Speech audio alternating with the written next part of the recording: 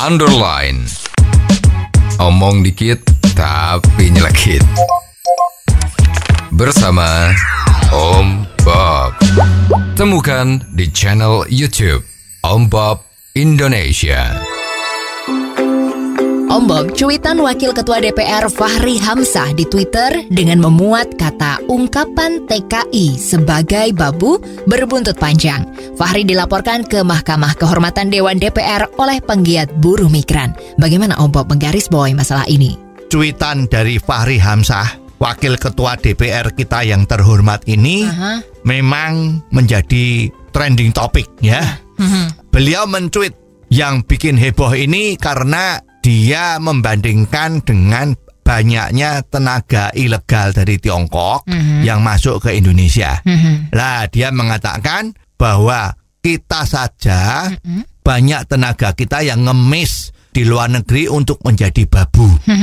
Ya, seolah-olah kenapa kok Indonesia membiarkan banyak tenaga asing yang masuk. Ya. Lah ini memang dipandang oleh semua orang itu adalah penghinaan terhadap tenaga kerja wanita kita yang di luar negeri. Dan protes-protes yang muncul itu tidak saja dari LSM dalam negeri, tetapi para tenaga kerja wanita kita itu yang dari Arab, dari Hong Kong maupun dari wilayah-wilayah lain itu semua pada melayangkan protes Ya, ya. ya. Dan bahkan wakil ketua kita ini sudah diajukan oleh Mahkamah Kehormatan Dewan ya, Ya. agar supaya ini bisa disidangkan. Betul. Dan memang kalau kita pikir-pikir tenaga kerja wanita kita di luar negeri itu harusnya tuh bukan diejek dengan mengatakan jadi babu, mengemis ya. Tetapi ini adalah ada satu lowongan pekerjaan di luar negeri di mana gajinya juga cukup bagus ya. Ya. Kalau bekerja di dalam negeri itu gajinya kecil, bekerja di luar negeri gajinya besar Haha. dan mereka patut dan selalu dikatakan oleh orang-orang yang cinta tanah air sebagai pahlawan bangsa Ya. karena gaji-gaji mereka itu diterima dalam uang asing, devisa, Ya. sehingga apa yang mereka hasilkan itu ditransfer balik ke Indonesia. Mhm. Berapa banyak itu tenaga kerja di Indonesia ini? Lebih dari 3 juta orang. Itu membawa pulang devisa berapa banyak? Mhm. Memang ini harus dikatakan sebagai seorang pahlawan, ya bukan sebagai seorang pengemis pekerjaan sebagai babu. Ya. Ya, jadi memang cuitan di Twitter dari beliau ini ya kebangetan ya. Pernah saya punya pengalaman ya bahwa saya ketemu di dalam pesawat seorang tenaga wanita Mhm. yang bekerja di Taiwan Ya. maupun di Singapura juga di Hong Kong.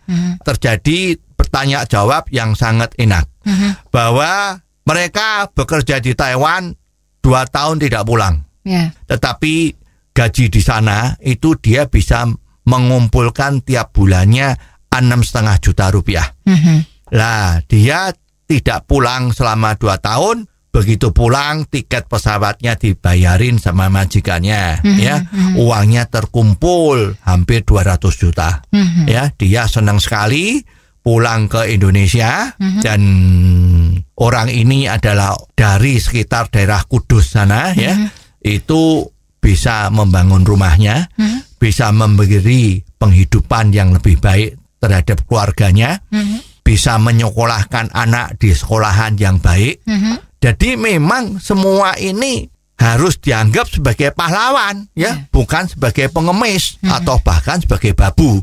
Ya, jadi memang cuitan ini ya harus ditanggapi dengan benar agar supaya wakil-wakil rakyat yang duduk di DPR itu kalau ngomong ya jangan seperti itu ya. Katanya kan ungkapan-ungkapan orang itu mencerminkan dirinya sendiri ya. Nah coba sekarang kita mentelaah perkataan itu dan berpikir kembali apakah wakil-wakil kita yang di DPR itu patut dipertahankan atau tidak Oh, jadi begitu ya Om Bob.